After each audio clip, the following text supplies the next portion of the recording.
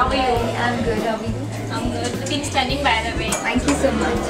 Okay, so your movie is releasing on 26th. How are you feeling? I'm feeling so excited and nervous because it's my first film and I'm playing one of the leads. So obviously I'm very excited. I'm waiting for 26th. Uh, these are I'm busy in uh, promotions and events, so I'm not getting time to realize and you know get the sinking feel. So, but um, I think it'll sink after 26th of Feb Yeah. when I'll be free. Yeah. इस film में जितना मुझे अभी पढ़ा है मैंने इसमें। तो आप एक बार का, जी, कर। जी। उसके बारे में बताइए हमें तो इस फ़िल्म में मेरा कैरेक्टर का नाम है शमा और शमा बाय प्रोफेशन एक बार डांसर है। तो जब मैंने पहले सुना तो I was like really shock and I was like okay तो उन्होंने बताया और बार डांसर के साथ साथ उनको मुंबई या लिंगो चाहिए जैसे मुंबई के बार डांसर्स बात करते हैं और उनको वो अदा चाहिए। साथ ही साथ इनोसेंस भी चाहिए इतना लाउड नहीं चाहिए तो काफ़ी सारा डिमांड्स थे कैरेक्टर का। बट फिर काफ़ी वर्कशॉप करने के बाद और uh, मैंने लाइव वीडियोस भी देखे you know YouTube interviews of bar dancers real life वो कैसे बात करते हैं उनके अदा और ये सब। और मुझे बोला कि माधुरी दीक्षित uh, से इंस्पायर्ड है कैरेक्टर लाइक देवदास में जो माधुरी दीक्षित ने प्ले किया था। तो uh, वो सब मैं वो फ़िल्म देखी उनकी अदा के लिए। ऑब्वियसली उनको कॉपी तो करना भी मुश्किल है she is a superstar.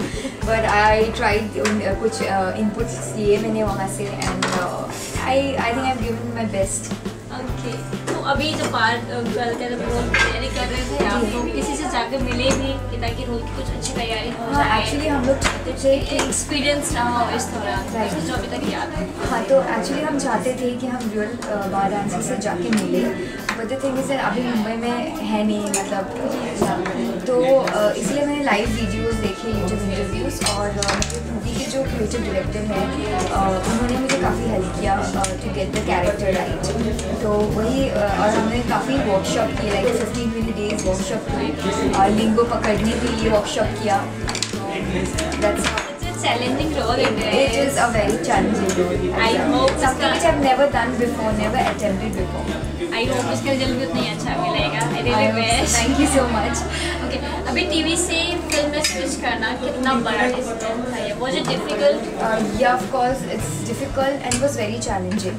क्योंकि uh, TV में people know you by the character you play और uh, and uh, like you've reached somewhere and then uh, to try for to get into movies you have to shed the weight completely baggage shed karna padna hai TV wala. And uh, so it was really difficult um, but I hope it works out. And uh, actually, actually it's not like I'm not a TV I'm open to TV and movies both. So acting I'm, I love acting medium it's just a medium so it doesn't matter to me. Okay so अगर इसके बाद movies के साथ साथ अगर आपको कुछ अच्छा टीवी में कुछ करने का मौका मिले कुछ अच्छा रोल ऑफ़र तो आप करेंगे course करूँगी.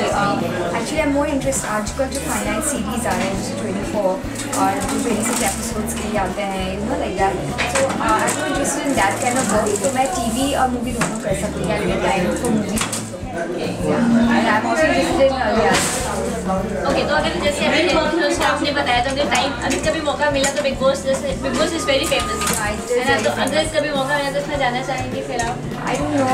At this moment, I think uh, I'll more concentrate. I'll concentrate more on uh, like doing movies and TV and reality shows like Jhalak and all because I love dancing. Big Boss से मुझे डर लगता है थोड़ा. It gets to be in a house uh, completely without any uh, connection with the outside world. I very लड़ाई. I know. I know. इतना stress, खाना भी कम and everything. It's very stressful. I think. देखने में सिर्फ़ मज़ा आता है. हाँ सिर्फ़ देखने में Yeah. लगता है आप एक कुछ छोटी सी जगह से आई तैयार हो। किया टीवी इंडस्ट्री में एक नाम अपनी एक जगह बनाई अब फ़िल्मों में आप आ रही हैं बॉलीवुड अपनी जगह बनाने के लिए आप हार्ड वर्क कर रही हैं। तो एक ऐसा टाइम आया जब लगा कि नहीं यार छोड़ो एक्टिंग वगैरह नहीं होना मुझे कुछ। या एक्चुअली आसाम से हूँ like it's small city and compare to Mumbai it's a very small city तो coming from a small city जो place like Mumbai it was really tough it was a very challenging yeah और actually मैंने college के time he I job then I came to Mumbai Yeah, so I was a really. Uh, You were doing engineering. Yeah, I was doing engineering and I uh, It's dropped such a out. surprise. Engineering करके सब कुछ I छोड़ know छाड़ कर it is. I never thought actually कभी plan नहीं किया था but uh, बचपन से I was inclined towards acting, dancing and all that. So I never wanted to do engineering. I just did it for my parents. और फिर uh, जैसे ही मुझे मौका मिला एक opportunity मिली uh, तो I came to Mumbai.